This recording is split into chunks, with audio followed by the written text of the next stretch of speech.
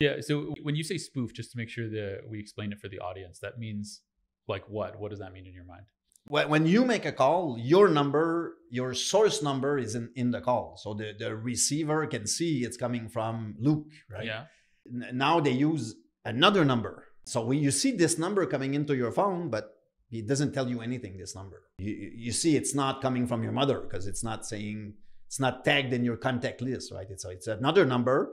So yeah, it looks okay. But it looks legit. It, it looks legit, exactly. yeah. So if it's if it's you, maybe you say, "Well, I'm busy. I'm not gonna answer this one because I, you know, I have a feeling it could be a fraud call." Yeah. But a business they have no choice; they have to answer this call, right? They have to answer this call, and and then then maybe they get caught in fraudulent attempts. But we were just talking about offline that like spoofing is kind of like stealing a number, right? Like I, sure, I, I, under, I understood it as like a spam actor will find a way to use a number that is not assigned to them. Yep.